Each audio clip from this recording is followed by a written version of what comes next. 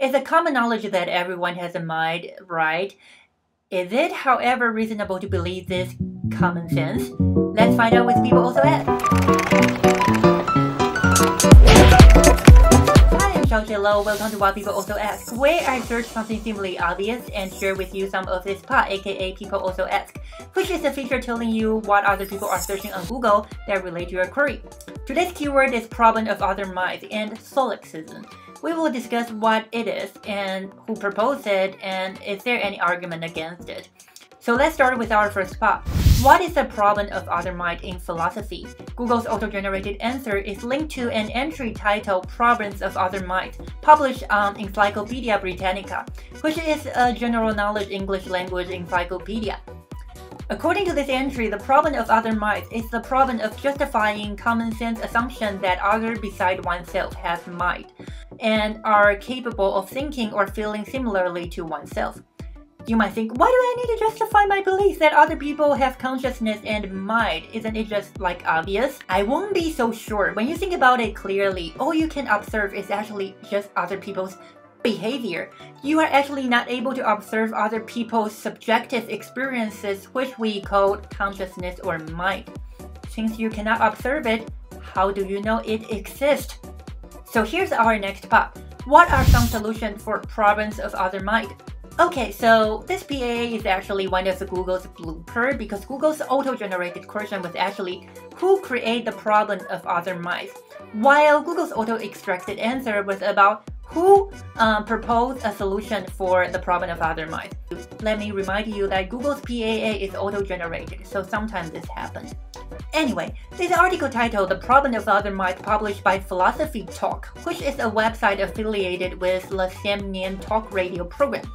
This program deals with the fundamental problems of philosophy and with the work of famous philosophers, especially the one that relate to our day-to-day -day lives.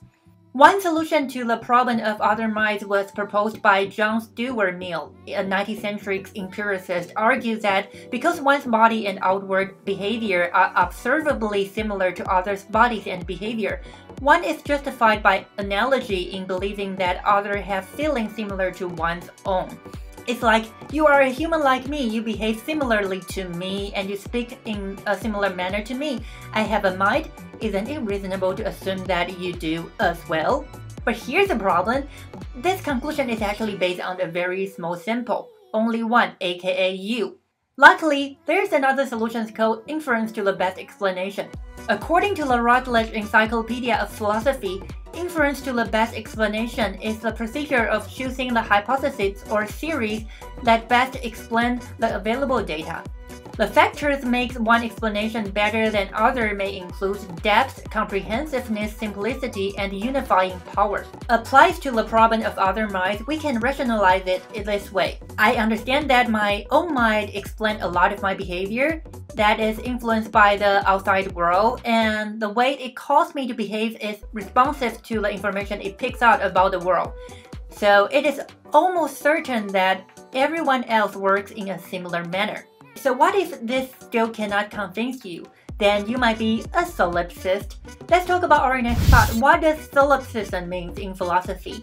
Because Google takes the answer to this query from a dictionary site called Merriam-Webster, which is currently owned by Encyclopedia Britannica, the answer is short and simple. Solipsism is a theory holding that self can know nothing but its own existence, and that the self is the only existent thing. Obviously, many people do not want this idea to be proven correct because it's kind of a scary series, and by a lot of people, I mean just you, if this series is true. So, what is the argument against solipsism? Google's auto-generated answer is linked to an article titled Is there any philosophical rebuttal to solipsism? A theory that self is all that you can know to exist, or are you just all figments of my imagination? Published by The Guardian. This article includes various arguments against solipsism. It's a long and interesting piece, so I won't be able to go over every point. I highly recommend reading it yourself, but for the time being, I can share one of these arguments mentioned in this article with you. The concept of self only exists if other exist.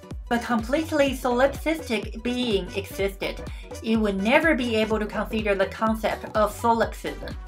In order to do that, it would have had to become aware of itself and develop an identity include an I concept. To do that, it would have needed to exist outside own being and consider itself from another point of view. But there's no other or other's point of view in solipsism. It follows that a truly soliptic being had no self because it has no other self to define itself. I'm kind of convinced, but it can probably refute the solipsism, but still won't solve the problem of other minds because other people might exist, just do not have mind. Today, or maybe just myself, learned what is the problem of other minds, what is solipsism, as well as their corresponding solutions. If you made it to the end of the video, chances are that you enjoy learning what people also ask on Google. But let's face it, reading PAA yourself will be a pain. So here's the deal, I will do the reading for you and upload a video compiling some fun PAAs once a week.